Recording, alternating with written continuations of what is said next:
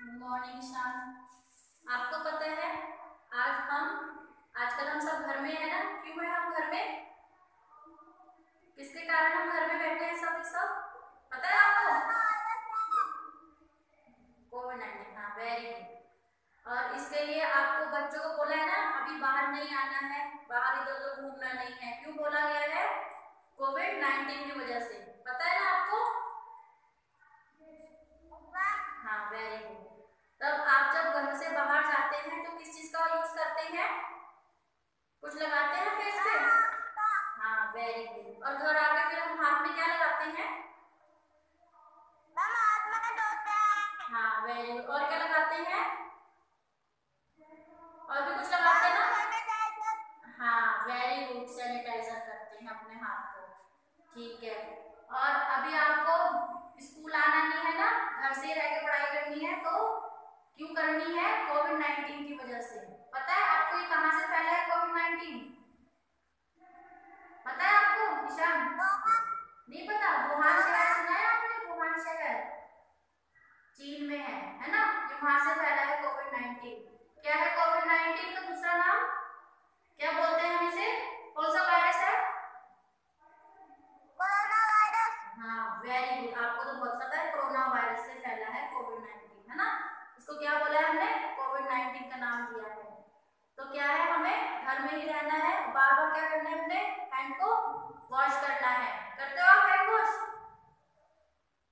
ईशान आप hand wash करते हैं ठीक है चलिए। हाँ वेरी गुड हाँ। वेरी गुड वेरी गुड बहुत अच्छे बच्चे आप हैंड वॉश करते हैं। हाँ ठीक है। अभी आपको बिल्कुल बाहर नहीं निकलना है घर से और घर में ही रहना है। अपने हैंड बार बार वॉश करने हैं सैनिटाइजर यूज़ करना है और घर से बाहर निकलने पे मास्क का यूज़ करना है। ठीक है? समझ में आया आपको? ठीक है। चलिए। अब खत्म अब क्या है ये? कि ये बीमारी क्या है? एक दूसरे से फैलती है। अब इसके लक्षण क्या है? कि हमें बुखार आता है और हमें खांसी रहती है, जुकाम रहता है। अब ज़रूरी नहीं कि जिसे खांसी और जुकाम हो से क्या हो? उसको कोरोना ही हो, है ना? इसके और लक्षण होते जैसे गले में दर्द हो जाता है, ठीक है? तो हम इसके लिए क्या करेंगे? गर्म पानी पिएँगे इतना गर्म भी नहीं पिएँगे कि मुँह जल जाए, ठीक है? गुनगुने पानी का सेवन करेंगे। और बाहर की चीज़ों को ज़्यादा नहीं खाएँगे, ठीक है? जैसे छोटे बच्चे बाहर की चीज़ों को जिद करते हैं ना तो बाहर का सामान हमें कुछ नहीं खाना है। समझ में आ रहा है आपको, निशान? ठीक है। अब हम क्या करेंगे? ये बीमारी क्या है? एक से दूसरे पे फैलती है। जब जब अगर आपको लगे कि हमारे घर के आसपास किसी को बुखार है या हमें बुखार है तो हमें हमें क्या करना है उसको हॉस्पिटल में जाके इसकी जाँच करानी है। ठीक है? जिससे कि आपको पता चले कि हमें कोविड नाइन्टीन है या नहीं है। अगर है तो पता है ना उनको हम कहाँ रखते हैंगे?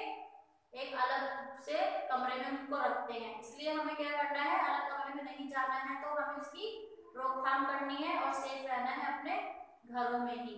ठीक है? इसलिए आपको घर से बाहर नहीं आना है। ठीक है? Thank you